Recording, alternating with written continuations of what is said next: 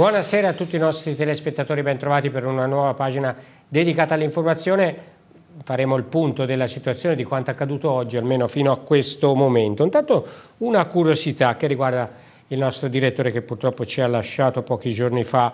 La scomparsa del nostro direttore, presidente anche della Fondazione Mike di Pistoia, ha creato profondo cordoglio in tutta la provincia di Pistoia, l'abbiamo visto anche dalle, dai funerali per esempio, ma non solo in provincia di Pistoia. Sull'ultimo numero del settimanale a tiratura nazionale TV Sorrisi e Canzoni, un lettore di Vinci nella rubrica di lettere indirizzate al direttore della testata ha segnalato la figura di, del nostro Luigi Bardelli indicando la scomparsa di un personaggio meritevole a suo parere di una fiction per aver fondato un'importante realtà televisiva toscana e una realtà sociale di sostegno ai disabili. A sua volta il direttore Aldo Vitali ha confessato di non conoscere Bardelli, di essersi comunque informato e di aver scoperto una figura che, si è, eh, che, dedica, che ha dedicato tutta la vita agli altri, per cui meritevole di essere raccontata. Non è sbagliato, ha detto, pensare di raccontare la sua vita con una fiction. È una cosa curiosa che insomma eh, fa piacere nel, eh, dopo quello che è successo purtroppo, però evidentemente se alcuni pensano anche a una cosa del genere significa che ha lasciato veramente il segno. I titoli delle principali notizie. Lotta alla violenza di genere con questura di Pistoia e centro ascolto uomini maltrattanti è stato rinnovato il protocollo Zeus che si propone di fornire percorsi specializzati per le persone che sono state oggetto di ammonimento. Nuovi giochi per il giardino di Barile a Pistoia, a donarli è stata Amo Pistoia ed è frutto dell'ultima edizione di Cammin, Giochi... Eh, Cammin Giocando. All'Arciano è stato ricordato il carabiniere ucciso 75 anni fa Alfonso Ruggero. Il giovane, di origini campane, fu vittima di un agguato, pensate, quando aveva solo 21 anni. 7 eventi, 14 discipline sportive, 23 giorni di gara. A Pescia sono in arrivo gli Special Olympics, la manifestazione sportiva che coinvolge atleti con e senza disabilità, in programma dal 23. Ancora un'occasione persa per la Fabo Aerons Montecatini che ieri sera in gara 2 di semifinale playoff ha comandato il match per lunghi tratti prima di cedere la vittoria ai padroni di casa di Ruvo. Da venerdì la serie, che è sul 2-0 per i pugliesi, si sposterà in Val di Nievole al Palaterme. Vedremo se la formazione di coach Balzotti riuscirà ad allungarla. Per quanto riguarda lo sport, seguiteci perché ci sono altre notizie interessanti che riguardano la nuova Pistoiese per esempio, ma anche l'estra Pistoia. Intanto però la cronaca è stata rinnovata a Pistoia il protocollo Zeus. Vediamo di cosa si tratta. Questura di Pistoia e CAM, Centro Ascolto Uomini Maltrattanti di Firenze, hanno rinnovato il protocollo Zeus. Relativo agli atti persecutori e alla violenza domestica, l'accordo, sottoscritto dal questore Marco Dal Piazza e per il centro da Alessandra Pounds, si propone di fornire percorsi specializzati per le persone che sono state oggetto di ammonimenti da parte del questore per i propri comportamenti, provvedimenti emessi sia su richiesta della vittima a seguito del verificarsi di atti persecutori o anche d'ufficio per episodi episodi di violenza domestica. Un rinnovo è stato ricordato in occasione della firma che permette di fornire continuità nella presa in carico degli uomini ammoniti e di intercettare quindi le situazioni di violenza quando ancora non sono cronicizzate. Nel 2023 sul territorio della provincia di Pistoia sono stati accolti 73 uomini e 21 sono stati seguiti nella casa circondariale di Santa Caterina. Circa il 12% di questi è arrivato grazie alla segnalazione della questura. Tra coloro che ammoniti hanno poi contattato il CAM, il 75% è in carico o ha terminato il percorso. Tra il 2021 e il 2023 gli ammonimenti sono stati 65, numeri gradualmente in crescita nel corso degli anni, passati infatti dai 14 del primo, preso in esame, ai 33 dell'ultimo. A conferma dell'efficacia degli ammonimenti, spiega la Questura diffondendo questi dati, dei 37 ammoniti per atti persecutori, solo 10 hanno successivamente reiterato la loro condotta e sono stati denunciati dall'autorità giudiziaria in stato di libertà o di arresto. Per quanto riguarda poi gli ammonimenti per violenza domestica, i recidivi sono stati 8 su 28.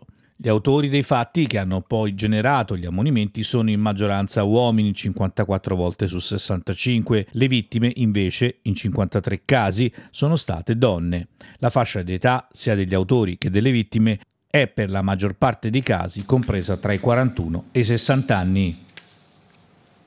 La nuova cassa di comunità, una copertura più ampia di medici, la messa in sicurezza statica del presidio Lorenzo Pascini, il potenziamento dell'assistenza domiciliare, l'efficientamento del CUP. Sono queste le principali azioni previste per, eh, dalla sanità della montagna pistoiese.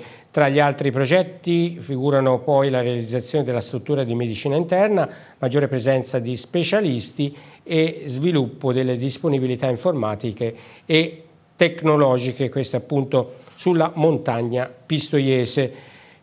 In particolare per la nuova casa del, eh, di comunità che sarà creata al Pacini ci sarà un investimento da oltre 1.200.000 euro finanziati col PNRR. Nuovi giochi per il giardino di Barile, frazione alla prima periferia di Pistoia. Il giardino di Barile a Pistoia ha dei nuovi giochi inclusivi. E merito dell'associazione Amo Pistoia che ha deciso di comprarli per arricchire l'area verde della prima periferia ovest del capoluogo, un dono frutto di quanto raccolto nell'ultima edizione di Cammin Giochiamo, la camminata solidale è nata per raccogliere fondi proprio per l'acquisto di giochi senza barriere per i giardini della città. Quando ci è venuto in mente nel 2018 c'erano tanti parchi sforniti di giochi, per cui abbiamo pensato subito non solo ai giochi ma a giochi inclusivi che fossero, potessero essere utilizzati da qualsiasi ragazzo. Insomma. Prima di quello di Barile i giochi erano stati sistemati in Piazza della Resistenza e nell'area verde di Monte Oliveto, dove anche grazie a quanto raccolto in questa edizione di Cammin Giochiamo sono stati sistemati due nuovi tavoli da ping pong con la terza edizione della Cammin Giochiamo ha scelto un giardino periferico per installare giochi inclusivi e quindi il giardino di Barile con la collaborazione della Proloco si presta magnificamente a questo perché c'è uno spazio tutto dedicato ai più piccoli e a diversamente abili. Questo dono che, che vuol dire per, per voi? vuol dire tanto perché noi abbiamo a cuore il posto e noi siamo molto felici di abitare a Barile come, come dice sempre Mario e insomma ci fa piacere che la gente conosca questa piccola borgata che eh, secondo noi, vero Mario, è una di quelle, campagne, di quei panorami che difficilmente si vedono in giro per Pistoia. I ragazzi che hanno questo spazio che mi ricordo quando ero io bimbetto non c'era, cioè c'era i campi, si viveva nel coso, questo è un posto diciamo attrezzato che la Proloco la tiene secondo me anche abbastanza bene e, e queste iniziative servono a, diciamo, al paese. I vigili del fuoco di Pistoia sono intervenuti questa mattina a Quarrata per soccorrere un ciclista che per cause accidentali durante un allenamento a livello amatoriale è caduto in un fosso adiacente alla strada. Nell'intervento al fianco dei vigili del fuoco il personale sanitario del 118. Una volta recuperato e stabilizzato l'uomo è stato poi portato all'ospedale San Jacopo di Pistoia. Ci spostiamo ancora di poco rispetto a Pistoia perché andiamo nella frazione di Bottegone dove è stata una inaugurata una nuova filiale della Banca Alta Toscana. Prego. Buona giornatina.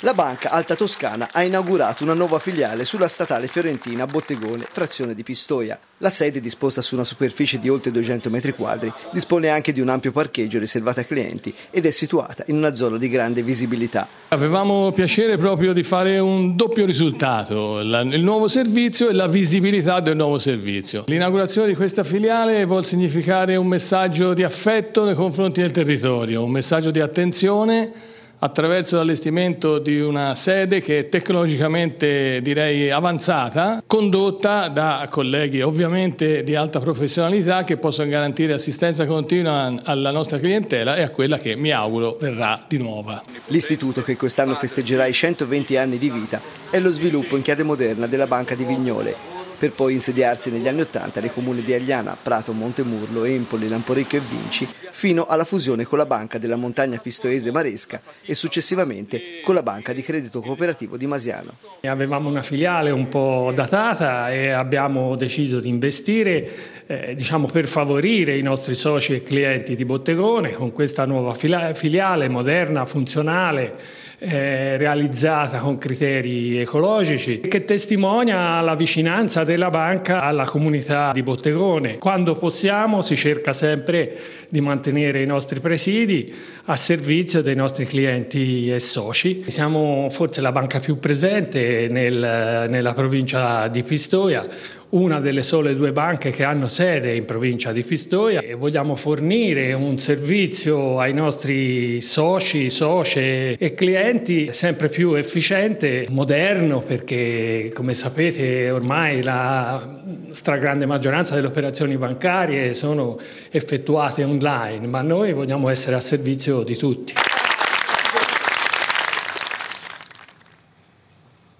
Marina Lauri è stata confermata alla guida del GAL Montagna Appennino. Questo è avvenuto in occasione dell'Assemblea della Società Consortile che si occupa di iniziative per lo sviluppo rurale tra le province di Pistoia e Lucca, quindi prosegue questo percorso con al comando Marina Lauri. Parliamo un po' di politica con un altro candidato, li stiamo presentando un po' tutti, ce ne sono veramente tanti in questi 11 comuni che andranno al rinnovo del Consiglio eh, Comunale e del Sindaco, 11 eh, comuni della provincia di Pistoia. Andiamo a Monsummano e presentiamo il candidato a Sindaco dei 5 Stelle Alberto Graziani.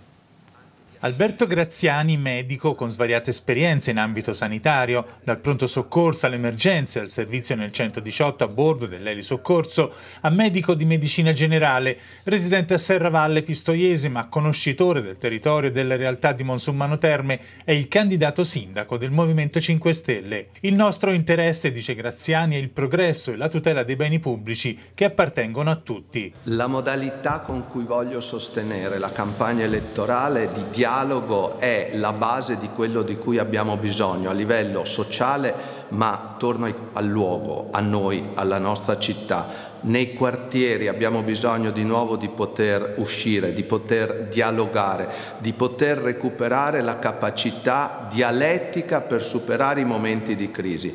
Noi del Movimento 5 Stelle siamo abituati veramente a dialogare con tutti e ad ascoltare. L'ascolto e la ricchezza di dialogo diminuiscono la conflittualità. Sociale, energia e ambiente sono i temi cruciali su cui si basa la politica del Movimento 5 Stelle per i prossimi cinque anni. Già su questi tre si può sviluppare anche un percorso economico, si può cercare un'autonomia energetica, ad esempio partendo dalla geotermia o dalle comunità energetiche. Vuol dire perseguire l'obiettivo oltre la sola consigliatura, disegnare una visione strategica che vada praticamente ad abbassare le bollette, ma in un modo reale, non in un modo fittizio e estemporaneo per l'immediatezza di un anno.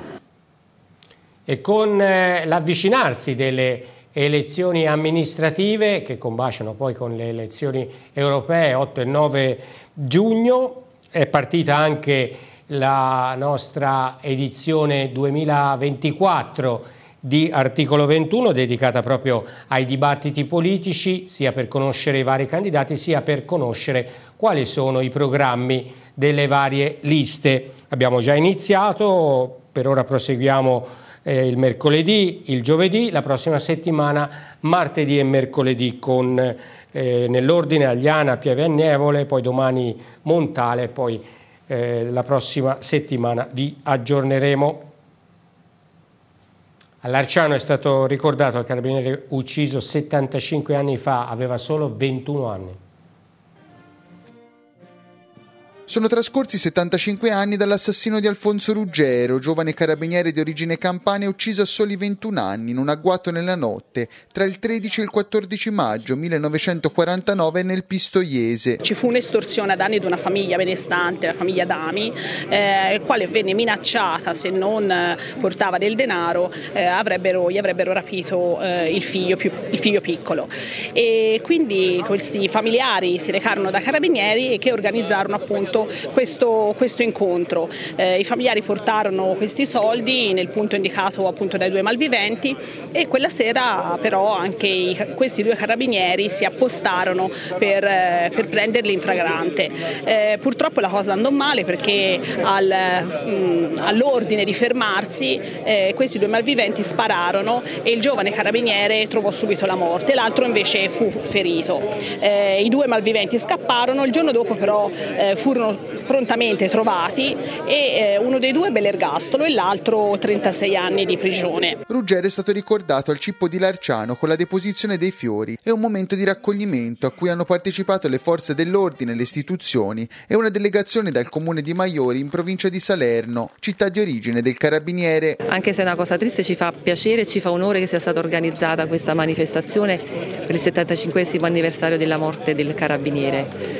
Eh, ci tenevamo particolarmente, infatti abbiamo cercato di portare un po' più persone possibili, nonostante gli impegni lavorativi di tutti, quindi veramente ci ha fatto molto molto piacere essere qui. Infine l'Associazione Nazionale Carabinieri di Monsumano Terme, con una cerimonia ufficiale ha intitolato la sezione all'Alfonso Ruggero. A Pescia stanno per arrivare gli Special Olympics. Sette eventi, 14 discipline sportive, 23 giorni di gara. Sono alcuni dei numeri del Play the Games 2024, la manifestazione sportiva che coinvolge atleti con e senza disabilità, in programma dal 23 al 26 maggio. A Pescia, in piazza Mazzini, si svolgerà la cerimonia di apertura la sera di venerdì 24 maggio, dove è previsto l'accensione del tripode, il braciere olimpico. Special Olympics io lo definisco un movimento emozionale perché dove arriva un, uh, un evento Special Olympics cambia un'intera comunità.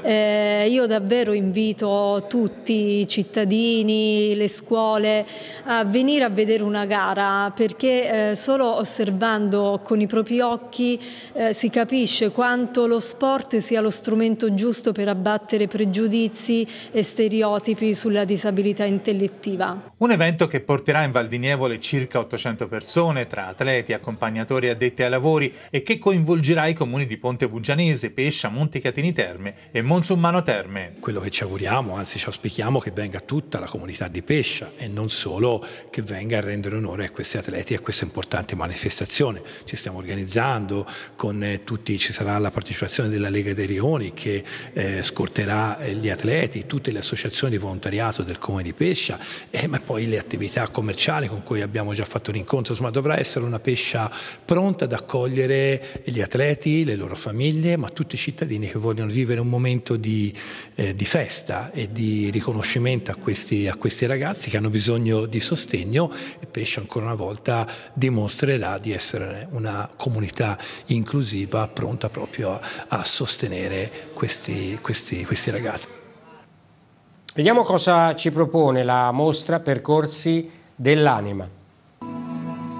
Percorsi dell'anima è la mostra inaugurata nella hall di Villa Cappugia a Pistoia, attraverso la quale l'Accademia della Chionchina rende omaggio all'artista pistoiese Cristina Palandri, professionista di lungo corso, le cui opere hanno viaggiato in molte parti del mondo. L'anima è riportata nelle mie opere in tre forme, quello della casa come rifugio, eh, è inteso come casa che può essere anche gabbia o casa, però a porta aperta, cioè ci può entrare ed uscire però è una fonte delle nostre radici. La, il personaggio è un personaggio che nel tempo io ho iniziato nell'82, da una bambina via via si è trasformata in una presenza eh, sempre più forte, in un cammino sempre più eh, proiettato verso che cosa?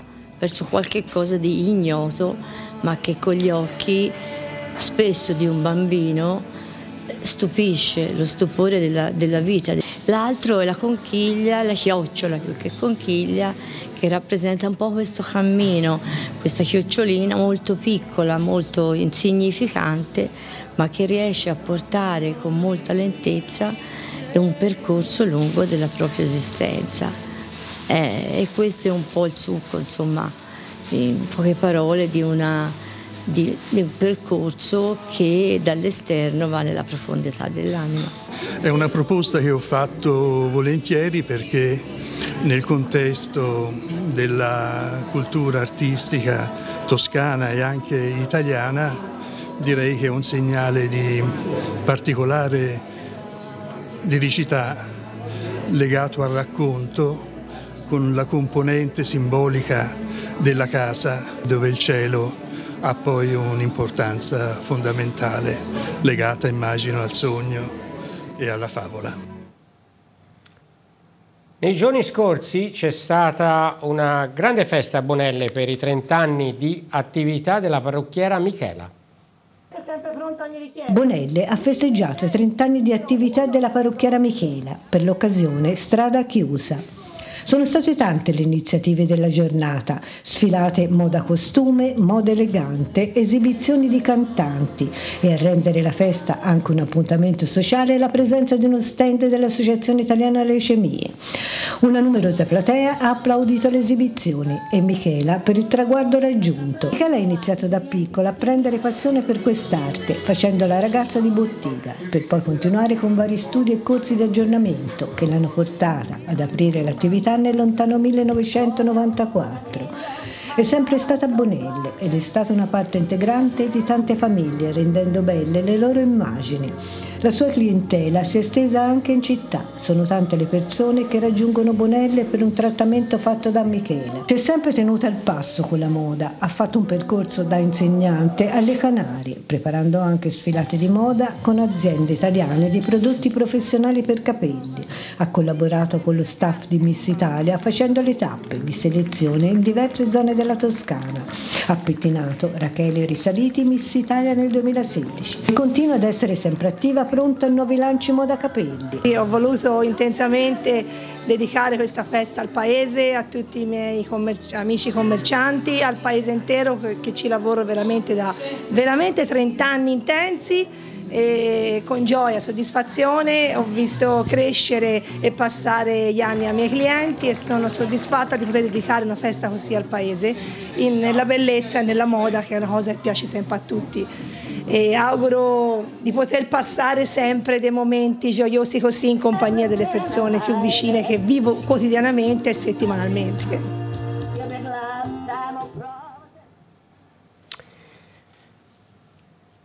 Oggi c'è stato un grave lutto per la comunità altopascese, un vero e proprio colpo al cuore. Nelle prime ore di questo mercoledì, infatti, in seguito ad una grave malattia, varie complicazioni, è scomparso Guido Bassetti, 72 anni, titolare della loggia, la storica spaghetteria al centro del paese. Guido, che abitava tra l'altro a Chiesina Ozanese, era conosciuto da tutti grazie alla sua straordinaria disponibilità e cortesia, una persona genuina, positiva, di compagnia, un gran lavoratore, sempre pronto ad ascoltarti e a darti una mano. Ci mancherà immensamente, si legge in una nota del centro commerciale naturale, Alto Pascio non sarà più la stessa senza di te. Guido Bassetti lascia la moglie Antonella, il figlio Alessandro, tre fratelli, a tutti loro va il cordoglio di tutta TVL, il mio abbraccio personale. Ci fermiamo per eh, pochi istanti, c'è la pagina sportiva e poi torniamo per le ultime notizie.